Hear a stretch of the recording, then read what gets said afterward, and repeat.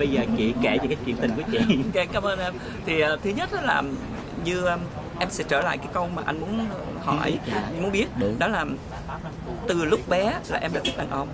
Mà đến vì chính vì thích đàn ông cho nên em mới chuyển giới Mà chị em dạn. chuyển giới em em em đang chuyển giới thì có nghĩa là vĩnh viễn forever ở trước đây em không bao giờ thích ngủ với nữ đó cho nên là là là, là nói chung là không thích con gái không bao giờ tụi em ngay cả đã là gay là không có thích đã là gay đã là gay không thích nữa em em em được rất nhiều câu hỏi này của những người đàn ông thẳng và phụ nữ thẳng. Tức là họ sống trong straight life họ không có có có có đôi lúc họ họ không nghĩ đến Đúng. rồi tức là khi tụi cho em nên họ cái cứ video này là một cái rất tốt Dạ. về mặt giáo dục Dạ. đối với những người straight mà chưa có điều kiện tiếp xúc. Yeah, họ cứ nghĩ là ô đàn ông là phải với đàn bà. Hoặc là even even gay gay gay thì họ có bộ phận sinh dục của đàn ông. Thì đôi khi có thể ngủ với đàn bà. No có nhiều người giống như em hay là tôi không bao giờ đụng đến đàn bà. Anh biết từ khi còn bé mà tụi em đi văn nghệ đó tự nhiên những người những bạn gái em nó tin tưởng em lắm. Trong trong cái feeling nó nghĩ em là gái thay đồ chung với nhau rồi. Vậy chơi với con gái nhưng chơi mà không, không, đi vô diễn hát đó là ca nhạc đó ca nhạc nó diễn thay đồ chung với nhau. Mà bất cứ một đứa con trai nào vô tụi nó không mấy đứa bạn nữ đó không cho. Mà Duyên Quỳnh lúc đó là trai vô thì cho. Còn em á ví dụ tắm hay là tắm chung chỗ nam không chịu. Không bao giờ kiểu áo, áo vô. mà tắm mưa với nữ thì ok tung tăng tăng tắm trên bờ vậy. Tức là biết từ nhỏ mình nhận thức mình là phải nữ đó là phải nữ. Đó mà ngay cả có những phái nữ lúc còn bé họ đã phiêu lên được là phiêu an toàn với gay. Tại vì họ, họ biết được gay là không có làm phiền họ. Cũng là giống nữ với nhau đó.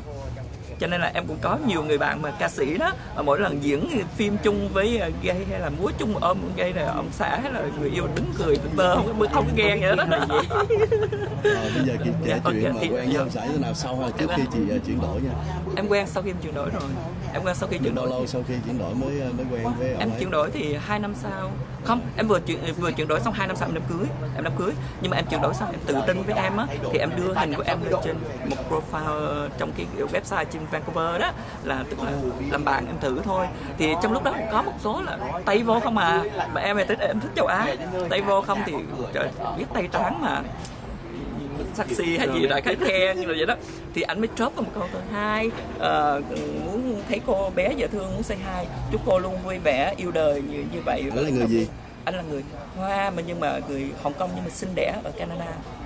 Tức là quốc tịch canada sinh đẻ đó đó thì uh, em nói ủa sao bao nhiêu cái comment tầm lâm hết? Thì có một mình anh mà đơn giản mà những cái những cái mặt hiền khô à. Mà vậy yeah. cái bắt là em cũng comment lại thì sau đó là hẹn nhau ra cà phê một hai lần lúc đó em chưa yêu đâu. Lúc đó em em cũng chưa yêu thấy ông hiền ông hiền thấy dễ thương. Và sau đó từ từ quen rồi yêu rồi lúc đó anh thương em quý em thì cưới. Hoàn toàn không biết em là chuyện giới từ lúc là chưa cưới gặp nhau dẫn tới nhà làm quen thì gia đình nó rất là đàng hoàng. Gia đình người hoa cũng có truyền thống này nọ đó. Thì ờ, cưới xong á lúc cưới xong em thấy gia đình ổng quý em quá. Khoan, trước khi mình kể tiếp phút kế Muốn thì kể kỹ. cho là trong cái thời gian mà date với nhau như vậy trước khi cưới á, mà chị vẫn không cho người chồng tương lai biết cái cảm giác trong người của chị như thế nào em rất là khó chịu. Lúc đầu em không khó chịu tại vì ngay cả bây giờ nếu em quen ai á mà em chưa nghĩ đến chuyện tương lai á hay là chưa yêu thật sự thì em không khó chịu. Tại lúc đó lúc đầu khoảng một hai tháng đầu là em chưa nghĩ đến tương lai thì em bình thường thì uh, em không nói có thể anh biết hay không kiểu như vậy đó. Từ lúc mà yêu rồi thương rồi đó mà thấy anh yêu rồi mà tới cưới xong rồi nữa, ngay cả đến lúc mà gia đình ảnh toàn bộ gia đình ảnh yêu thương em nữa là càng bực lắm. Rồi ảnh cũng là anh biết không? Di Yến Quỳnh ừ, Di Yến Quỳnh là cháu Đức Tôn là đã qua một cái, cái pass qua được một cái điểm phô- ờ, ờ, khó rồi. Ảnh là người gốc hoa lại là cháu Đức Tôn nữa. Làm mất thêm một hướng nữa. Từ lúc mà gia đình càng thương mấy càng nói cứ nói chuyện con cháu làm em về bức rứt rồi em càng yêu thương bức rứt càng khó chịu từ lúc sau một lần quyết định là em mới nói thật. Nói thật thì anh sốc tại anh hiền lắm. Anh sốc anh sốc cái sốc anh ngộ lắm. Giống như tự nhiên anh chiều đến ăn không ngon miệng. Tại vì anh luôn luôn anh là một người tốt luôn luôn cư xử tốt. um, cái lúc mà kể thật kỹ cái lúc mà gọi là drop trái bom nó như thế nào? Vào cái lúc nào cái dịp nào? Vào cái dịp một đêm thì hai vợ chồng ngồi thì thường thường buổi tối á là anh hay ngồi đọc báo. Rồi coi tivi coi tin tức rồi vậy đó. Tại anh làm cho công việc của chính phủ cho nên anh người anh là vậy đó. Cũng, nếu em nhiều lúc em nghĩ trong nhà mà không có em chắc nhà lúc nào im lặng quá ít nói lắm. Thì em mới sau một đêm trước đó, một cái weekend á, là tới gia đình ăn uống vui vẻ, thì gia đình mới nói là chuyện sinh con để cháu. Thì mới đêm ngày hôm đó thì em mới quyết định, em mới nói, em mới thối lời với anh là anh nghĩ gì nếu như mà tụi mình không có con? Thì anh mới nói là lâu nay anh đâu có đòi hỏi em chuyện con cái đâu. Nếu như mà em thấy gia đình của anh ờ, như vậy thì em hơi hơi bức rứt á. Rồi ờ, xong mà nói, nó mình yêu nhau được rồi, từ từ có cũng được. Thì em mới nói, từ từ có có nghĩa là anh muốn có thì không? Đúng xong đâu có đó em thì hai đứa mình vui cũng được. Nhưng mà em muốn có hay không thì nếu em vui thì có còn không thôi cũng được. Thì em mới em mới bắt đầu là nói như vậy thì em nghĩ là anh cũng thích đứa bé. Thì em mới nói, em mới nói thật. Điểm đó nói thật mà trời luôn suy nghĩ lắm. Đâu không nói thật tại em biết là một mất. Hai là sau khi nói cái ranh giới nó rất là mỏng manh.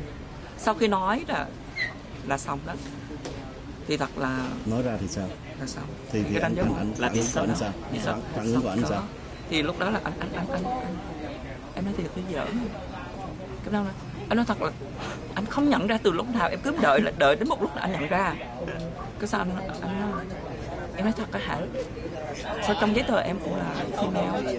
Cái xong nói em thì em đổi bây, bây giờ bên này bên này là dễ mà anh làm trong chính phủ anh biết mà. Anh biết là đổi được mà. Cái xong là thì anh biết người straight họ ít tò mò về chuyện này lắm.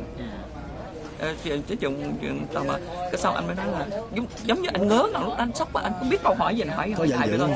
dạ. Có giận dữ không? À, theo như uh, cho Phương Tùng xin đáp là chị Di Yến Quỳnh là bởi vì ở đây á, ngoài cái vai trò là đứa em kết nghĩa với Di Yến Quỳnh đó thì cũng thân với lời ông xã của Di Yến Quỳnh.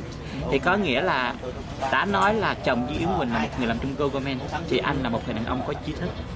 Cho nên nếu mà anh có giận dữ như những người khác là đập bàn như như như khí của anh Lăng vừa hỏi đó chị thì em nghĩ là anh sẽ không có. Mà anh lúc anh giận lắm cái anh bị một cú sốc là anh không tin. Nhưng mà anh muốn đặt những câu hỏi tại vì một con người của anh là con người mềm mỏng một con người có nhai giáo và những cái điều đó là ảnh chia sẻ với Phương Tùng đó hả dạ. thì khi mà tụi này nói chuyện trên điện thoại đó thì uh, we talk together. Thì khi mà em nói chuyện với ảnh đó thì em cái feeling của em á, là biết được cái người này là tư cách của họ như thế nào. Cho nên thường thường phương tùng nói là mình đến với người ta hay mình tiếp chuyện với người ta thì phương tùng đánh giá từ cái lời nói của người đó. Cho nên mà anh lăng hỏi thì em nghĩ nếu, mà với một cái người khác á, thì họ sẽ đánh cái người phụ nữ đó. Cho dù là sống chung bao nhiêu lâu thì họ nói là một sự lường gạt. Nhưng mà chồng của Duy Yến Quỳnh đó thì em biết là anh rất là một cái người từ tốn. Và có, có thể một câu nữa là rất là lịch sự không có tới cái phần đó tại vì có thể anh không biết uống bia uống rượu cho nên anh không ông không bao giờ xảy ra cái chuyện đó được. Nhưng mà nếu mà gọi là không giận dữ nhưng mà có cái gọi là giận dỗi vì cái sự mà bị không Bị lường đó, gạt nên họ- Dạ, có chứ có chứ. Có nhưng mà cái sốc của anh ngồi lắm. Tại cái sốc anh giống như anh im lặng xong xong khi hỏi em một vài câu tức là hỏi để hỏi đó. Hỏi chứ anh sốc quá không biết- em biết tính ảnh. Hỏi để hỏi tức là nó đầu óc không suy nghĩ. Bắt đầu là anh im lặng thả tờ báo xuống. Anh ngồi yên anh dựa vô ghế. Xong anh, anh ra anh hút thuốc hút thuốc xong rồi anh vô trong giường. Anh nằm. Vậy thôi. Nằm yên nằm yên. Vậy cái em vô nói là anh muốn được ờ, nằm yên phải không? Anh muốn được yên, thì em ra ngồi ghế là tự nhiên người em nó buồn tự nhiên tại vì chưa bao giờ trong suốt thời gian ở chưa bao giờ anh có một cái thái độ như vậy. Từ một người yêu một lúc nào em em đói bụng không? Sao em ăn gì? Ủa ờ, mệt hay không? Thì, thì, thì tự nhiên giờ im lặng im lặng. Một cái sự im lặng rất là nguy hiểm. Rất nguy hiểm. Thì trong cái phòng ngủ á, thì anh vô vô xong cái viên mình ngồi chỗ cái phòng khách trơ luôn. Giống như cái tivi mở ra mà không biết rồi. cái ranh giới đã đến rồi. Giờ đến là đã đến rồi đó. Có Cái thể là một là ly dị Ừ. hai là tiếp tục. Nhưng mà ăn thua nơi người đàn ông. Thì đó ăn thua là người đàn ông. Đó ăn thua là ảnh. Thì lúc đó là em mới ngày hôm đó hôm đó là em vô nằm ngủ thì ngủ chung thì thường thường là chính vì như phương tùng mà nói, con người anh rất là lịch sự, tâm rất là lành, cho nên vẫn hôn vợ trước khi ngủ. Nhưng mà cái hôn mình cảm nhận được cái hôn không giống như hôm qua. Ok, good night. Rồi xong rồi là không không có ôm vậy vậy đó mà anh trăn trở. Coi như em đã không ngủ được. Mà sáng sớm mai là anh phải đi làm mà em yêu chồng là tức là chồng. Khi mình yêu ai là mình không muốn là người đã mệt hay gì nữa.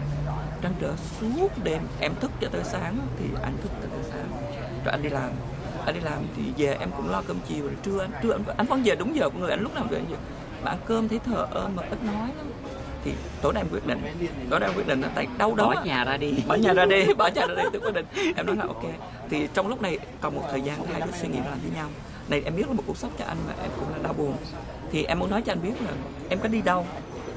Em sẽ về bất cứ lúc nào khi anh nhớ em và anh suy nghĩ lại bởi vì vĩnh viễn, em sẽ không bao giờ quên anh em sẽ không bao giờ hết yêu anh. Thì anh nói, ok có thể đó là con đường hay. Như vậy đó, thì em đi. Thì sáng ngày mai em lấy vé, em bay qua Cali mình à ở Cali mình, em sống với người bạn. Em sống với bạn này trong suốt thời gian, anh biết sống một người thất tình á. Giống như buồn, đáng, gia đình em quá hạnh phúc, một người chồng quá tốt. Thì em ở bên này á, thì ờ, nguyên một tuần sau là em hứa, em nói với anh là em sẽ không phone anh cho đến lúc anh phone em. Tại em là người có lỗi mà. Thì ờ, một tuần sau thì phone ra. phone ra em bắt lên em bắt lên thì em thấy cái số ở Vancouver bắt lên, bắt lên. À, em nó hả khỏe không dạ anh nó hả khỏe. Thì mình nghĩ là chắc anh hỏi thăm thôi tại người anh quá tốt. Xong im lặng nó em ơi à, thôi về đi. Nhà không có em vắng quá à. trời. Trời em không không thể tưởng tượng không thể tưởng tượng được. Ờ không thể tưởng tượng được. Thế, thế là em lấy vé khẩn qua ngày sau em lấy vé khẩn em về. Và anh mới nói với em là thôi quên hết chuyện xưa đi. Anh yêu em bây giờ đừng bao giờ nhắc đến chuyện xưa. Anh yêu em vì em là em. Vậy thôi đừng bao giờ nhắc chuyện xưa và đừng nhắc đến chuyện con gái. Trong cái tuần đó anh suy nghĩ như thế nào? Buồn buồn mà không phải như uống bia rồi buồn đi làm thì không có làm việc tập trung được. Tức là suy nghĩ thì khi trong thời gian đó anh anh mới tâm sự tức là anh khi về nhà đó thì nó vắng đi một cái gì đó. Mà vắng đi cái hình ảnh đó nó không phải là một người con trai là người vợ mình để lúc nào anh suy nghĩ lại từ lúc mà yêu nhau thương nhau là không có một hình ảnh người trai nào lộn xộn trong đó hết.